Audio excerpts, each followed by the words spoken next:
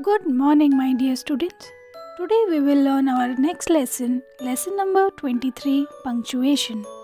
Punctuation marks help us understand the meaning of sentences and write correctly. Capital letter We use the capital letter when we begin a new sentence.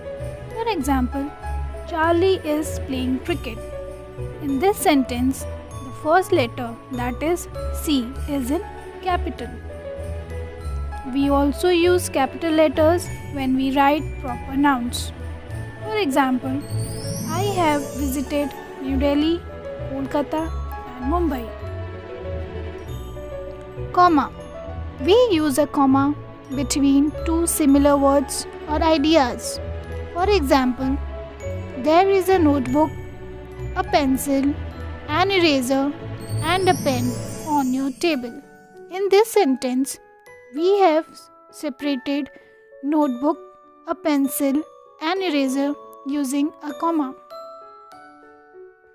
We also use a comma to separate many adjectives used to describe the same noun.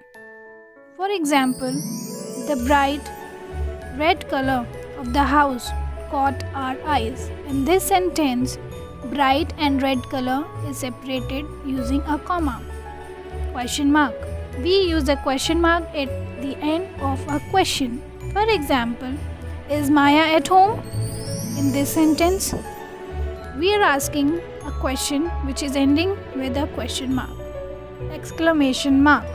We put an exclamation mark mark at the end of a sentence that shows strong feelings or after an interjection. For example, what a tasty dish it is dear students, I hope you have understood the uses of punctuation marks in our grammar.